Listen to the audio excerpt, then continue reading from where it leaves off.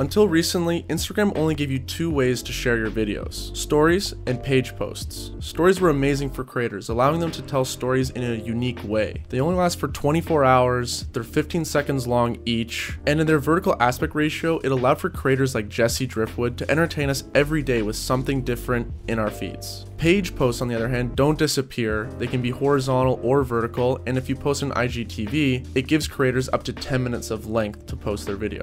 In the last few months, Instagram added Reels, which kind of blends the two. It allows us to create 15 second posts in vertical aspect ratio, similar to like a TikTok video. Recently, I've been fascinated with Instagram Reels, how to make them interesting, how they're consumed by consumers, and I really dove into making more of them. With our attention spans shrinking and there already being so much content out there, Reels gives us creators a different way to make videos that's a little bit more digestible and easier to consume. This shorter form of content takes less time to produce, and more importantly, it is highly shareable. And the more shareable it is, the more reach you're gonna get on Instagram, the more followers and fans, and eventually you're gonna build an audience a lot faster.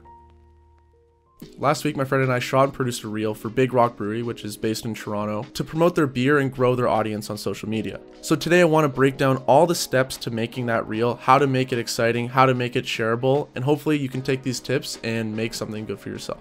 Before you begin planning the shoot and planning the edit, the first thing you gotta do is find a song. And most importantly, within that song, there needs to be an exciting, interesting part that is loopable. For example, in the reel you saw at the beginning of this video, I found this jazz hop song with a very interesting, energizing section in the middle. So I brought that song into sequence and I cut down that part that was interesting and made sure that the ending of that section loops directly into the beginning. There's two ways to make sure that that loop is perfect from start to finish. The first is duplicating the layer holding alt and click and drag and put it beside the original and listen to see if it works. The second way is you can just set an in and out point on the, the track without duplicating. Click the loop button up here and then play back and listen to see if it loops perfectly. Sometimes you gotta do a little fine tweaking, but it's just about listening and making those adjustments. Looping the music is a great place to start to make the beginning of the end of that video very seamless, but what puts the icing on the cake is if you can make the beginning and the end of the video also seem like it's one seamless transition. The reason it's good to loop the music as well as the video is that it creates a very easy viewing experience for whoever's watching the video.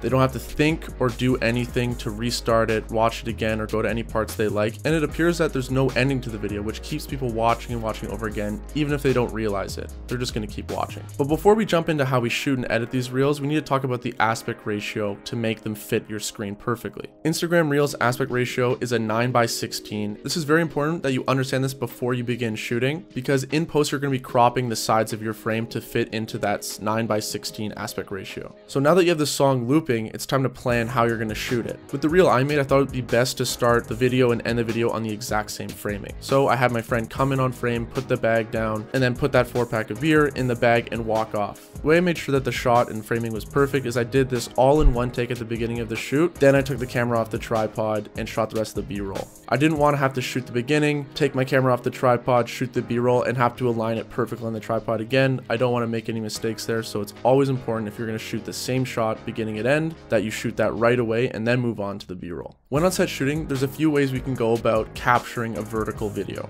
One way you can actually do this is holding your camera vertically like this. Ideally, you'd be doing this if you have a flip out LCD screen such as this, and you can change it to face you and then capture the video as you please like this. Personally, the way I went about shooting this was I just held it horizontally, did all my movements, and then I adjusted accordingly in post. Now the tricky thing is when shooting in horizontal, you need to be watching what your composition looks like and think about how that's going to translate into the edit.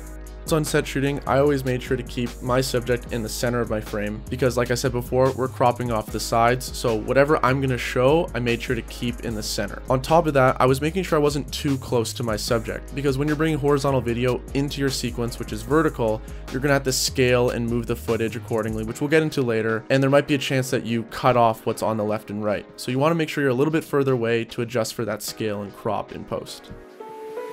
Now, when you get all the shooting done, keeping those tips in mind, it's time to jump into the editing software and figure out how we're gonna make this banger work. And personally, when I'm making any edit, I always make two sequences. One for cutting the footage to separate the good takes from the bad takes, and the other one is the main edit that I'll be exporting from. So like I said, first, I make the cutting sequence, which is just a standard 16 by 9 horizontal so I can see the entire frame, and I create my sequence just with one of the regular presets. From there, I'll drag on my footage and then make my new sequence, select the preset I just used, but I'll click over over into the settings tab and then I'll switch the resolution values to 1080p by 920. Next up, I have my song that I've already clipped and edited, and then I begin to drag in the clips that I want to use. Now you have both your sequences set up, you have your song edited, it's in the main sequence, and you can start dragging in your footage. So as you can see in the main sequence that we're exporting from, when you drag in that horizontal clip, the footage doesn't fill that entire frame. So obviously the way to do this is you go up to your effect controls and scale the image to fit the frame. So now that your footage is scaled up and it's in, sometimes it's not perfectly framed or it's not showing exactly what you want. So the way that you can make sure that your composition is appropriate to what you need is you go up to your position value and you drag the X axis value to where you want your footage to be on the frame.